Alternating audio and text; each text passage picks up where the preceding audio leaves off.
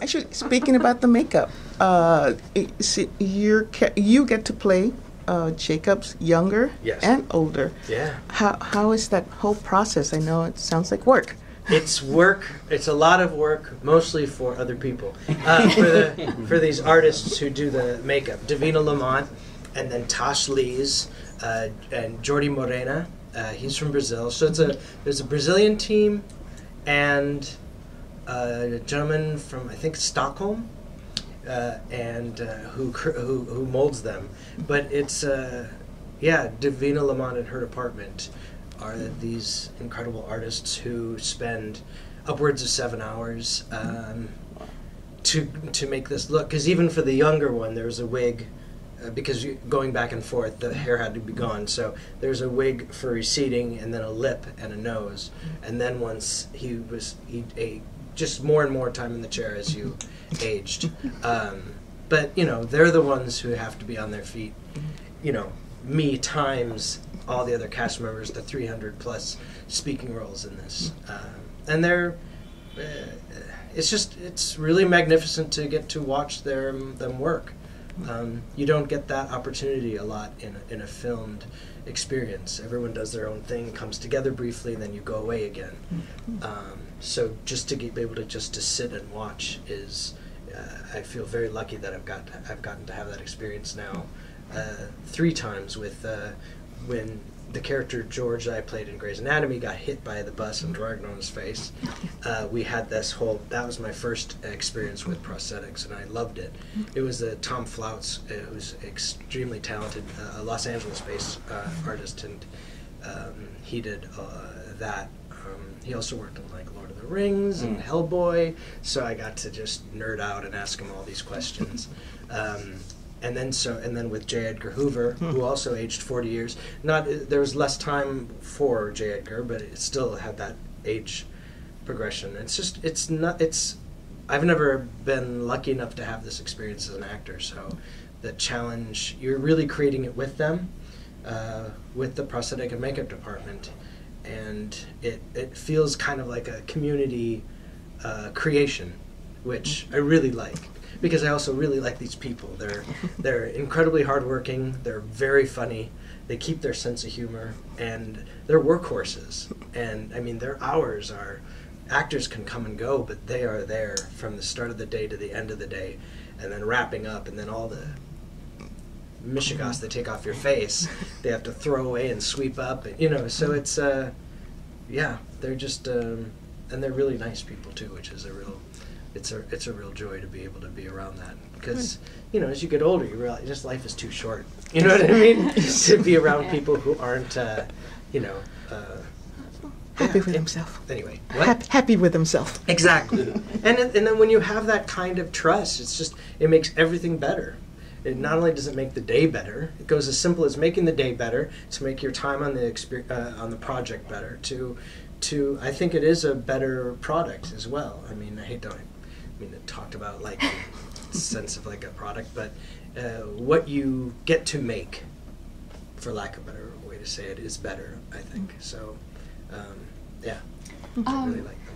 What do you think is the most challenging part of bringing these characters to life because they are based on like real people's lives?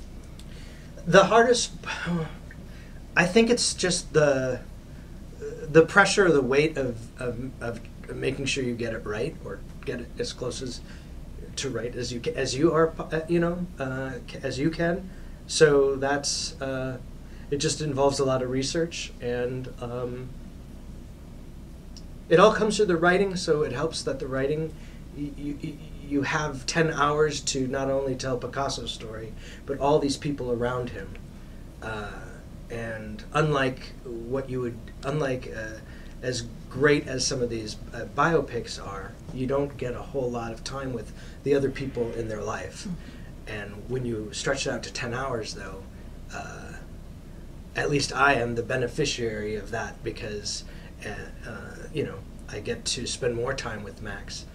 And the people who don't know Max and know, know who he was get get to spend more time and and because he's a fascinating person. So, but I think with when you play someone real, there's always that extra weight of you want to do right by them whether you know whether or not their ancestors are still with us or not.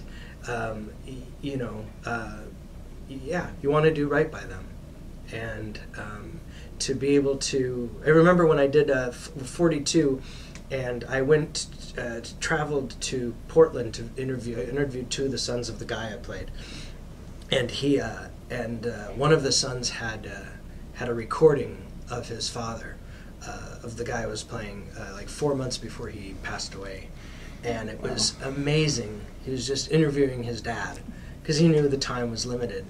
So you know, some when you don't have that uh, luxury with someone like Max, uh, to be able to find his letters. Uh, um, that were translated into English, uh, translated into English that he wrote uh, um, especially during his time at the monastery. You get the closest thing, that's the closest thing you can get to actually his voice. And that's a remarkable connection to have, for lack of a better word. Um, and that's something that you, I am very grateful to have. So I don't know. It's just that kind of, you want to do right by them, whether or not they're aware and watching or not. You know, it's uh, and especially when it's uh, someone who's had a harder life and a life with struggles, uh, which is pretty much everybody. But you know, some people less than others. Uh, he, yeah, you want to, uh, you owe it to that person, I guess. To to your point, uh, Antonio was saying that uh, the fact that uh, Picasso's originally from the same place as he is in Malaga. Yeah.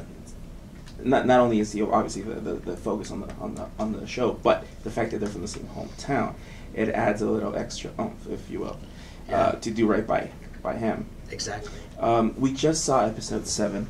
Yep. Uh, just to give you an idea of what the timeline we're at. Okay. Um, we saw uh, Picasso visit Auschwitz, and uh, I was sitting there in a very well air conditioned room, and I thought I, it was sweat, but no, it was actually a tear rolling down my eye.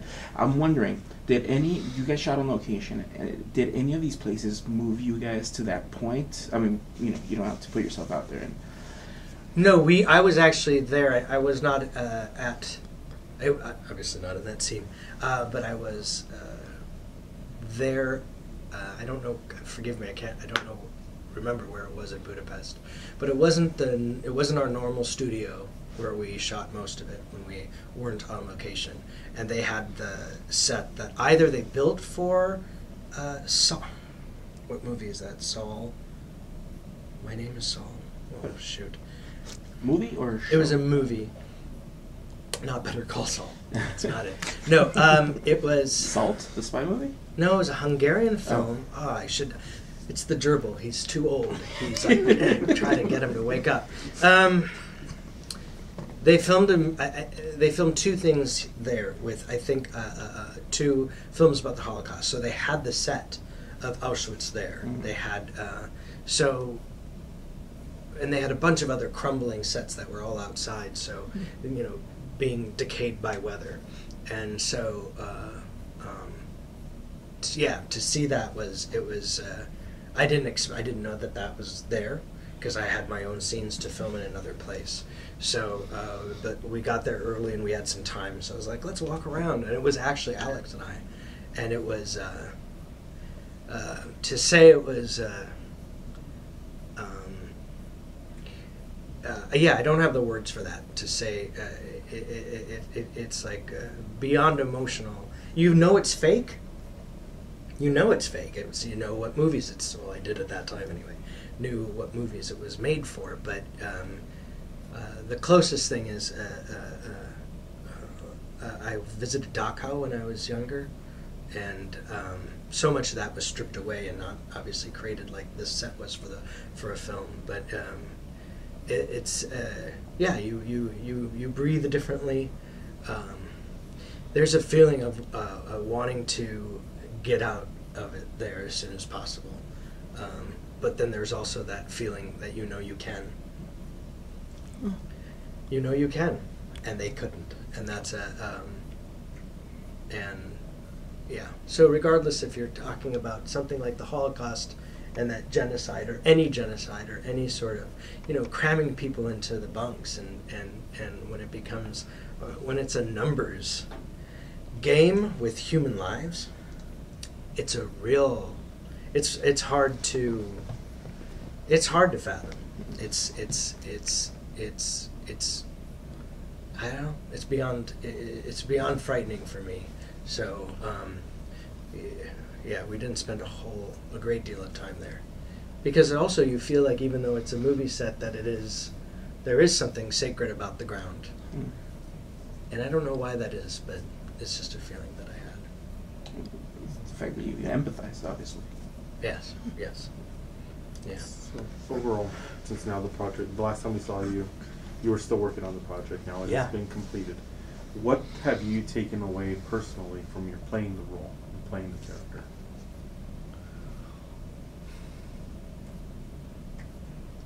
something that I can easily put into words. I think I'm still figuring it out. I just finished uh, ADR on Monday for episode eight, so that was my like my last, the last thing I'll do for this project, the last uh, work I'll put into it. Um, and um, when I left Budapest, uh, I got to go to England for four days to see a friend in a play that was there. And uh, uh, um, there is an exhibit, uh, Mogliani. I, I always, always say it wrong. Anyone can help me out? I have uh, I have problems saying his name also. Modigliani. Modigliani. Modigliani. um, so he had a he had a, a exhibit, or they had an exhibit of his at the Tate Modern, and he, uh, um, one of our writers, Raf Green, told me about it, and uh, there's a two pictures, two portraits of uh, of Max that he that he uh, that he painted. So to go there, that's what I thought was like. It was my first kind of goodbye, if that doesn't sound too corny. Probably does, but you know, I'm a little corny. Um, but to be able to sit on one of those benches and to just and to look at, you know, to be that close to somebody who actually painted him, uh, it was a it was a somber goodbye. But you know, um, it's I don't know when you when when I don't know how to put it into words to be honest, and so I'm sorry I don't have a, a better answer. But um, you've there's uh, whether or not it's deserved, I can't speak to that either. But there is a a, a, a connection you feel to that person, and um, I don't know if they would be like, I don't want anything to do with you, you know, if they were here. But um, you know, let's hope not. But um, um, but um, maybe it is just one sided. But it is i i you can't help uh, form uh, a, a connection, um, and and whether that starts out as a, a sympathy or empathy, um, I think it grows into something much more than that, uh, much more personal than that. So maybe that's why it's hard to talk about. But um, but yeah, it's gonna be, you know, it's that it's that. Uh, the more months go by, I guess the, the more calloused you get about it, and you're, you know, maybe I'll watch it sometime, you know, 10, 20 years or something if I'm still kicking and still can put big glasses on and watch the television. But I, I don't want to watch it now. It's not it's not something that I can do besides uh, ADR. That's because they get mad if you don't do ADR, so you have to do ADR. And uh, so I do that, and then um, that's all I can do. There's this really great line in this episode. Uh, Picasso says, uh, "Art is the lie that tells the truth." Yeah. Perhaps because, like you said, you're about to wrap episode eight ADR, and it's too fresh. You probably wouldn't feel comfortable watching it. But I mean, Nat Geo doesn't put out crap, right? No, So- no, no. The first two episodes were wonderful. that I wa- I wasn't in them, so I watched the first two and then last, Last two. which is a nice uh, bookend. But right. because I wasn't. Those are not the ones I was in. What I wanted to ask you is, uh, do, you, do you think this is uh, I guess there's really no way of knowing unless we were there. But how accurate of a portrayal do you think this overall ten episode arc is to the to the story? Um, and would you feel comfortable if somebody living under a rock had no idea who this gentleman was, showing him this this work, even though you can't personally watch it yourself right now. Are you talk, uh, are you talking about Max specifically, or It, well, the whole ten episodes, including your eight that you're not willing to watch. That's just my own neuroses and my own kind of feeling that I don't know if it's it's a combination of growing up doing theater and having that be still the majority of the work I've done. You don't watch yourself; that's impossible to do. So it's not something that's ever uh, been comfortable for me to do. Uh, I, I did watch when I first started Grays. I watched for a while just tech for technical kind of reasons, but then you start looking like, oh, when I hold my face this way, and I have this weird chin thing that's happening, and you don't want to act like this every time. You know, you don't want to, you don't want that to come into play. So, uh, it's partially that, it's partially the theater thing, and I think it's partially what you do in the in that moment of when you create that uh, that world. It's just not you're in it. You don't. You're not a, a, a witness to it. So uh, there's such a, a, um, a discrepancy for me uh, for the uh, trying to have meet those have those two worlds meet. Mm. But yes, I would. Uh, I'm glad people are watching it. I'm, I mean, I'm glad they don't have my neuroses about it. Um, I think I, I love working. Uh, I loved working with these people. Um, I think that kind of.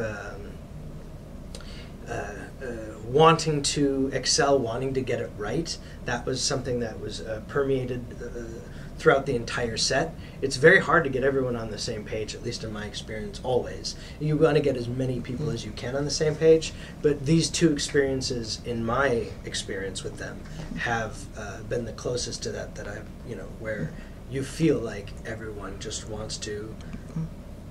Um, wants to uh, doesn't want to cut corners, doesn't want to uh, uh, uh, uh, phone it in in any way, wants to go the extra mile for.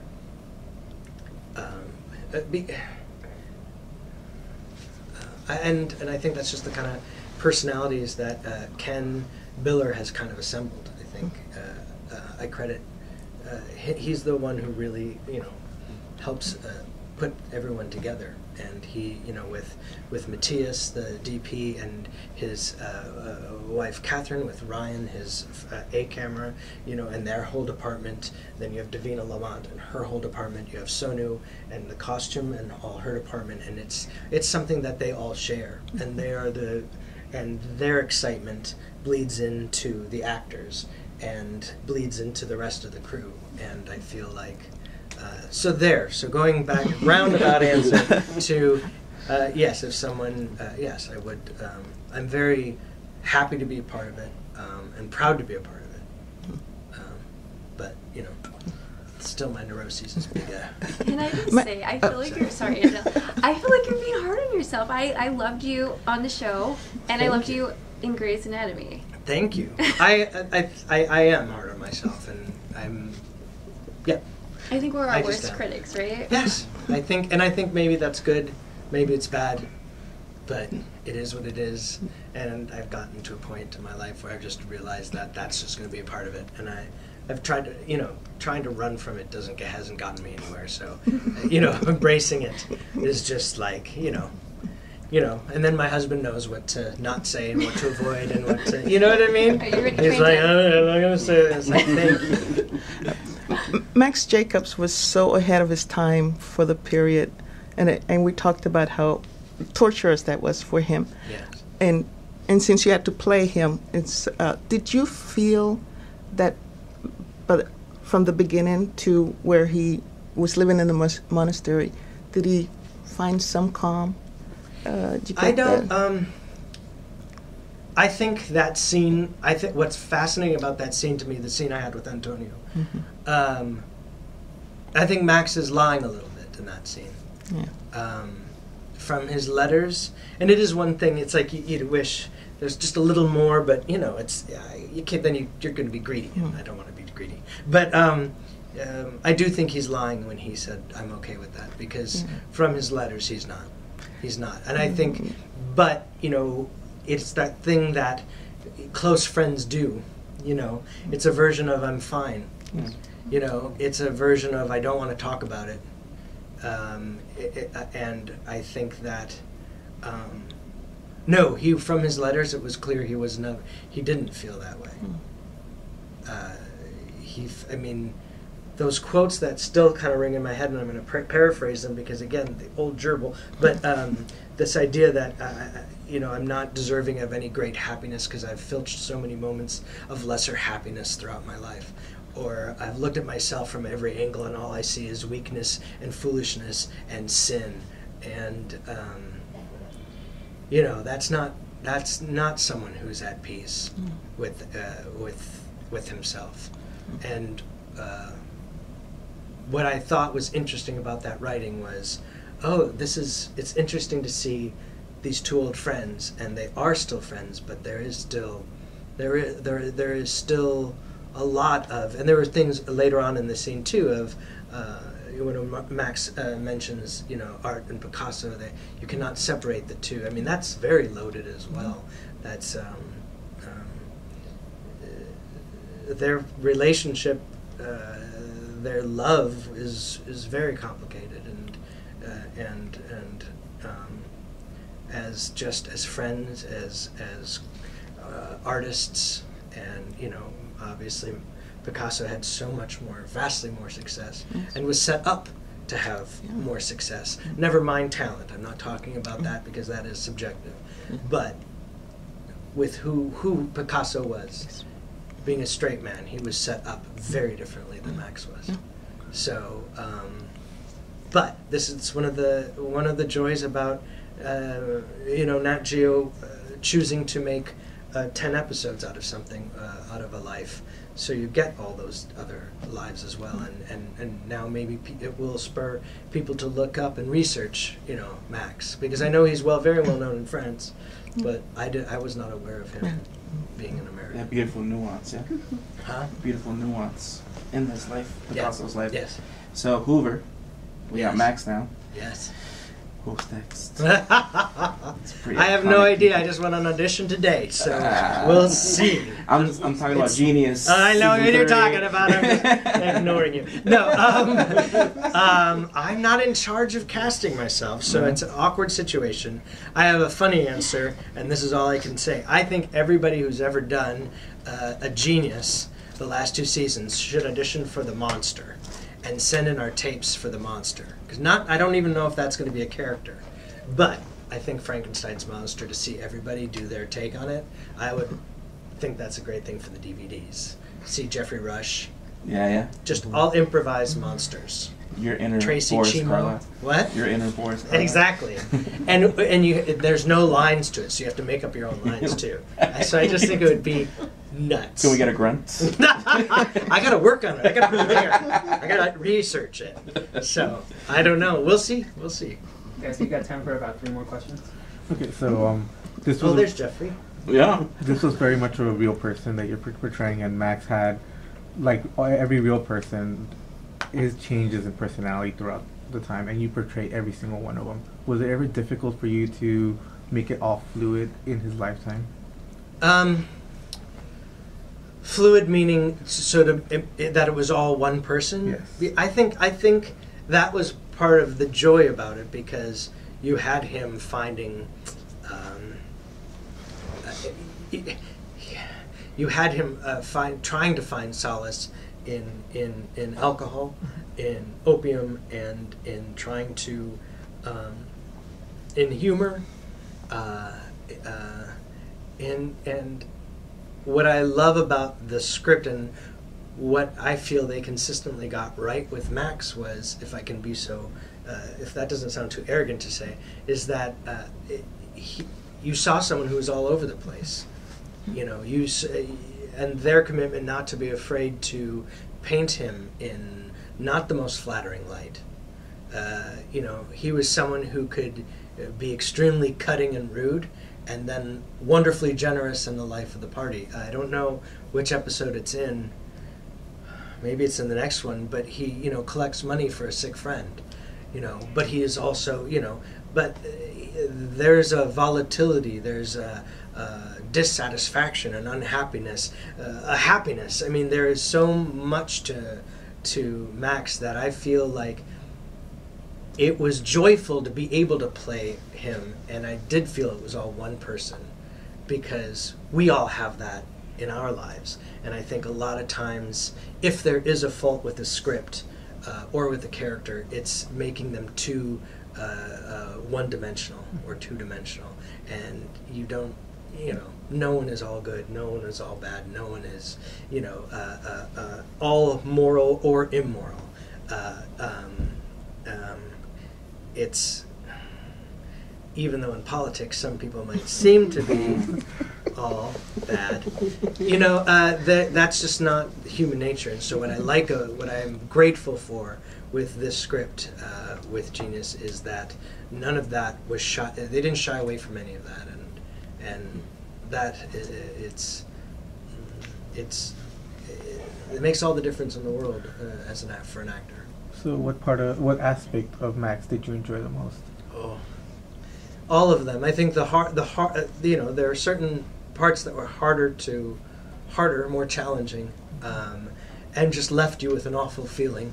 Like there's a scene, I don't know if it's in seven or eight, of a party where he insults Ava, this beautiful actress. I mean, just she's beautiful too on the outside, but just inside too. Her name's Eileen O'Quinn not Irish. No, she's Irish. um, and she and she, uh, but she plays a, a, a, a, a French person, and uh, but uh, Max is awful to her, Yeah. and uh, he gets uh, kicked out of uh, Picasso. Eventually, removes him from the party, and there are certain scenes that you leave, and you're just like, you know, you don't feel good. but I don't think you're supposed to feel feel good. Mhm. It's not like yeah, you know what I mean. You don't feel that way. You just feel like you feel like you've just been kicked out of a party and maybe uh, maybe destroyed a friendship, and you know maybe he's not even in in hundred percent control of what he's doing. It's the you know it's the darker side of him that's coming out because of uh, because of the alcohol or whatever drug he's using at that moment. But that there it was alcohol. So. Um, yeah so again it's like some scenes just you know you hope you got it right but you have to just walk away because you know you're not gonna you're not gonna feel good and you, hopefully you get a good night's sleep and you can wake up and you know you can escape it you know you're not caught in that and that's where you go thanks for reality I think they're wrapping this. Yeah, up. we're Oh, yeah, okay. wrap. But we saw you get baptized. Can you tell us what you felt after that scene? that was uh, that was intense it was intense because i think max believes he believes he saw jesus. Mm. and that kind of I, he's you have someone who is searching so desperately so desperately. And there is a fanaticism to that that is that is frightening uh, um, when someone is seeing visions at a very certain specific time in their life uh, at the same age that jesus was when he was uh, supposed you know when they say he was crucified and all that. So it's like uh, i think he uh, he's wanting I mean, look at the religion he chooses. It's not Right. the most forgiving, you know, religion, especially as a gay man. I mean, why? Why? Mm. Why would he? Uh, why does he walk into that willingly? That's a fasc- It was a fascinating, uh, fascinating uh, aspect of his personality to explore. But it feels very. Wish we had more time. I know. Sorry. We just want to do a quick Thank you. It was Son of Saul. Son of Saul. Thank you so much.